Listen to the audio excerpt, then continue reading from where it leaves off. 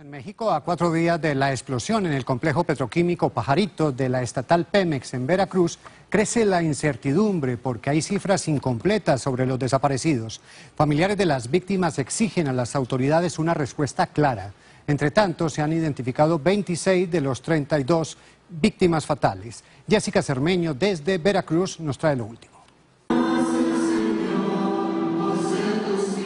El obispo de Coatzacoalcos, en el sur de Veracruz, decretó hoy el inicio de una semana de duelo que pretende aminorar el dolor dejado por la potente explosión en el complejo petroquímico Pajaritos.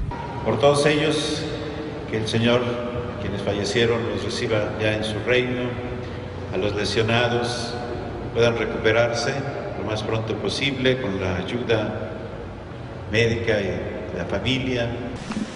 Cuatro días después del siniestro, el sacerdote dedicó la misa dominical a la memoria de los fallecidos y los heridos en la planta Clorados 3. Seamos una comunidad que es sensible ante este tipo de situaciones.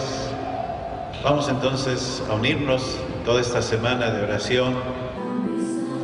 Antes de la misa, el clérigo ofreció una conferencia de prensa en la cual exigió que se conozca lo que ocurrió en la planta. Se conozca la verdad, la verdad, así sea con todas las consecuencias, pero siempre debe ser la verdad. ¿Qué pasó? ¿Para qué se debió? ¿Cuántos estaban trabajando?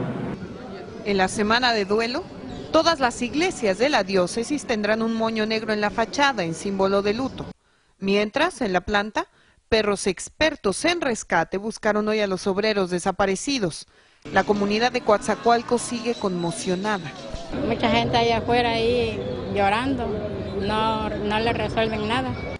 Petróleos Mexicanos informó que seis cuerpos encontrados en la planta no han sido aún identificados, lo que se hará mediante estudios de ADN. El obispo de Coatzacoalcos aseguró que durante esta semana buscarán a los familiares de los afectados por la explosión para brindarles ayuda espiritual y material personalizada. En Coatzacoalcos, Veracruz, Jessica Cermeño, Univisión.